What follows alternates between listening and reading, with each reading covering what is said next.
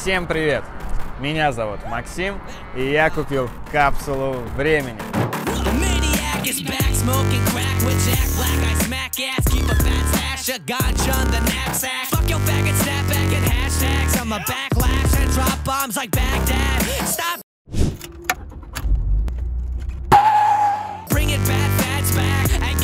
Bitch a pat for running a track lab. Congrats, Tubby, you lost all of your fat flaps. Now your ass is flat and saggy, dangles like a. Это BMW 36 93 года, которая простояла на одном месте последние 12 лет. Вам, наверное, сложно будет в это поверить, но ее реальный пробег составляет всего 130 тысяч километров. Серьезно? Вы не ослышались.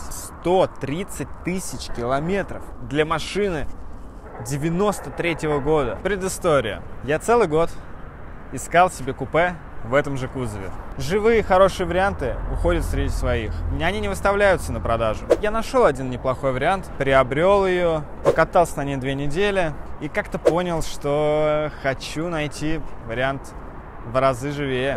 Но на самом деле это была лучшая купе из, из тех, которые я видел. Я принял решение смотреть среди седанов и турингов. Но там все было еще печальнее. Все автомобили, которые висят на площадках объявлений, это максимально заколхоженные, гнилые тачки, просто в которые лезли какие-то, не побоюсь этого слова, кривые руки. Машины висят за overprice. Даже за overprice ты приезжаешь, эта машина выглядит так же, как и за самый минимальный прайс. Разницы никакой нет. Все сами ставят себе ценник, а машины от этого лучше не становятся. Этой модели на сегодняшний день уже почти 30 лет, Естественно, с московскими реагентами живых почти не осталось. В процессе я уже опустил руки и решил отдохнуть от поисков. В один прекрасный день, когда мы ехали смотреть Димона по сатике, это было еще до покупки 36-й, в перерыве я решил заглянуть на Авито, и тут я увидел ее. Я еле дозвонился до продавца, его телефон просто разрывался. Мой телефон разрывается. Если вам интересно, как я уломал его, ведь я звонил не первый, и полная история покупки, Напишите об этом в комментариях, мы запишем ролик на эту тему. Если кратко, я уже на месте. Мы поднимаем ее на подъемнике. Димон смотрит на меня с выпученными глазами, улыбается и просто не понимает, куда смотреть. Я сам смотрю на днище и удивляюсь этому. Там нет ни одного намека на коррозию, по крайней мере, не было. И, кстати, если вам интересно, на что обращать внимание при покупке 36-й, какие у нее есть проблемные места и как распознать переваренный вин, также напишите об этом в комментариях. Мы заснимем об этом отдельный ролик и как раз покажем ее днище. В общем, после нескольких часов проверок и бумажной волокиты я забираю ее. О торге не могло быть и речи, но я попробовал. В итоге, что мы имеем? 36-я в кузове лимузин, а именно так они называются в Германии. В офигенном цвете диамант Шварц Металлик.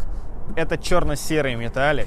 На свету он круто переливается блестками и отдает в серый. В темноте он кажется черным. Под капотом 1.6 М40. Это самый доисторический мотор, который ставился на 36-е. Самая простая комплектация. Тут даже нет передних электростеклоподъемников. Но зато тут есть то, что заставляет забыть об этом. Это максимально живой кузов и люк. Ручной люк. Вы сами должны понимать, что BMW это конструктор. И дооснастить любой опцией легко. А вот оснастить машину новым кузовом законно у вас вряд ли получится. Когда я ее забрал, в некоторых местах можно было даже разглядеть остатки мха. Все зазорчики, просто тютелька в тютельку. На передних стеклах была тонировка, аж три слоя, первый из которых, возможно, был заводским. Давайте перейдем к подкапотке. Когда мы ее забирали, здесь была паутина. Даже не было следов открытия масляной горловины. На данный момент я уже немного обслужил ее, поэтому здесь стало почище. До меня последний раз масло в этот мотор заливалось аж в 2008 году.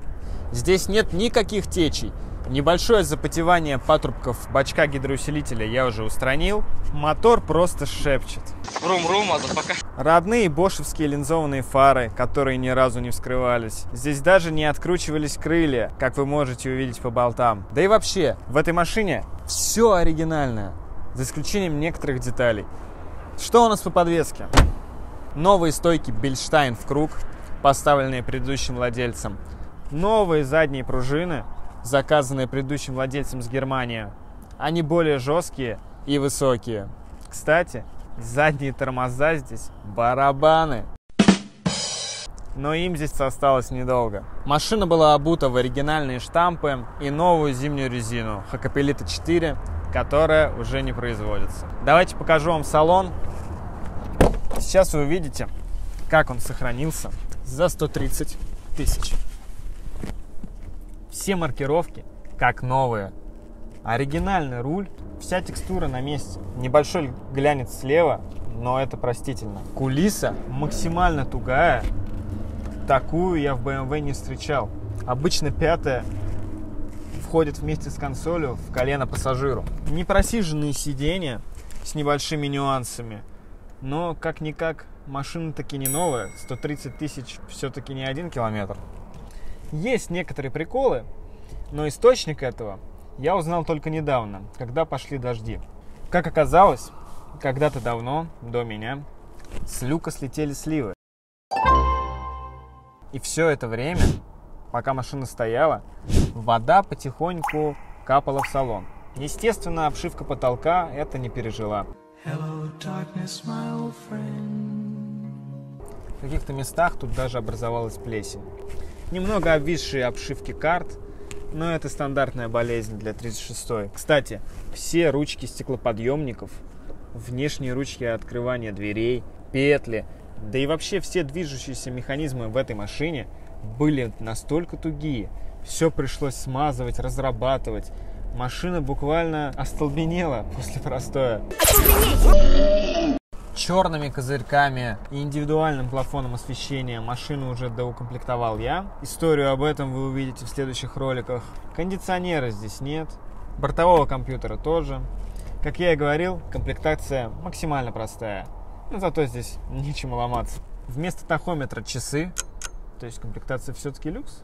Нет, это показатель мотора 1.6 М40 под капотом. Но парадокс, вся обшивка торпеды, дверных карт, весь пластик, пепельницы, все в идеальнейшем состоянии. Просто как новое. Текстура, цвет, никакой грязи в порах. Центральных консолей сейчас нет. Обшивки я демонтировал по одной простой причине. Они были вымазаны непонятно в чем, в какой-то краске. Все это пыталось испачкать мне одежду. Я не стал их оттирать и просто выкинул. Но на самом деле уже немного пожалел, так как оказалось, что найти их с живыми креплениями нереально. Они отщелкиваются при снятии. Но я думаю, я все-таки найду. Как и машину. Нашел же? А, год искал и нашел. По салону, в принципе, все. Давайте перейдем к багажнику. Крышку багажника поменял промежуточный хозяин, так как родная была раскурочена вандалами, которые украли музыкальный усилитель и задние динамики. Он ее отвратительно покрасил, так же, как и переднее правое крыло. Верхняя часть задних фонарей была затонирована лаком, но мы это успешно смыли перед постановкой на учет, так как до этого докапываются. Кстати, до меня фонари никто не снимал. Обшивку я сюда демонтировал, потому что она дребезжала.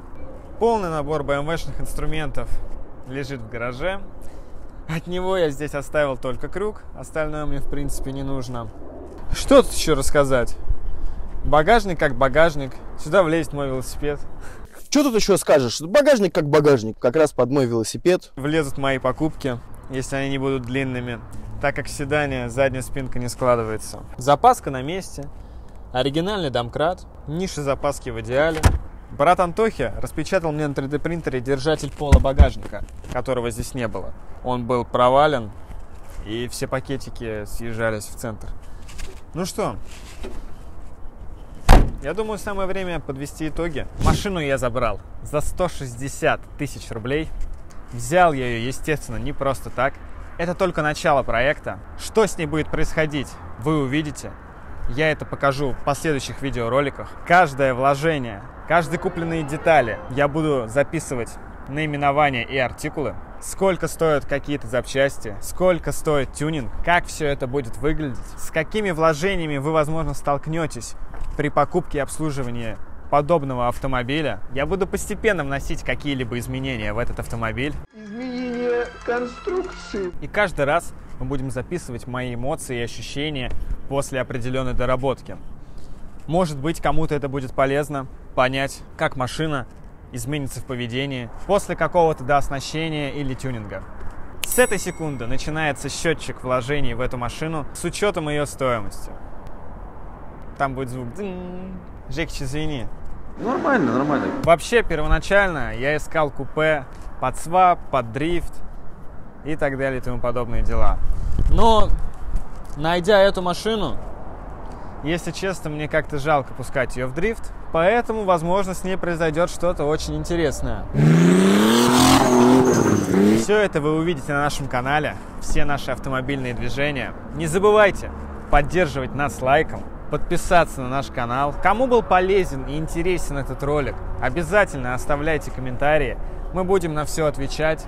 Пишите ваши пожелания. Возможно, у вас есть идеи, что вы хотите увидеть или что вы хотите, чтобы мы вам рассказали об этой машине, да и вообще в целом о мире.